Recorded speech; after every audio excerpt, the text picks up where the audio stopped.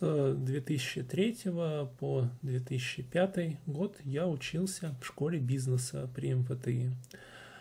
У меня были перечислены ниже предметы, которые вели вот здесь вот также указанные преподаватели. А особенностью интересно было в том, что до как раз 2005 года обучение в этой школе было бесплатным, и финансировалось оно за счет фонда МакАртура, который преследовал целью отвлечь студентов от каких-то там военных специальностей и так далее. Вот, а потом все это стало платным. И даже когда я стал писать диплом на тему образования, попросили на тему бизнеса, и дальше уже защита была платным. Спасибо за внимание.